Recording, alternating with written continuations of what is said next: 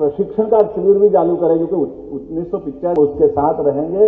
इसमें जो धनराशि लगेगी, राज्य सरकार देने के लिए तैयार रहेगी।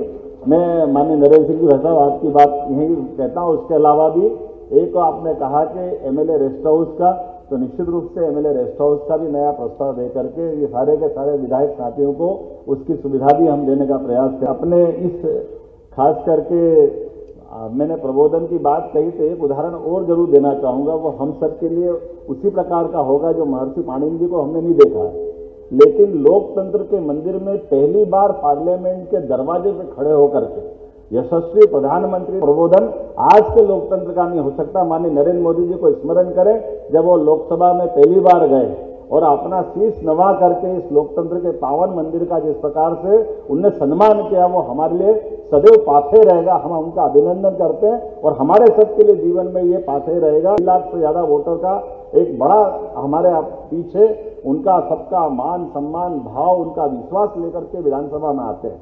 और विधानसभा में आने के बाद निश्चित रूप से हम अपने दोहरे रोल में रहते हैं। हमारी अपनी विधानसभा का दायित्व तो हम पे है ही। उस विधानसभा के साथ साथ बेहतरी के लिए, अपने क्षेत्र की बेहतरी के लिए और इनको सबको मिलाकर के हमारे अपने इस देश की लोकतंत्र के उस पावन मंदिर का सम्मान करने के लिए उस बड़ी भावना के साथ अपने इस विधानसभा में प्रवेश करते हैं।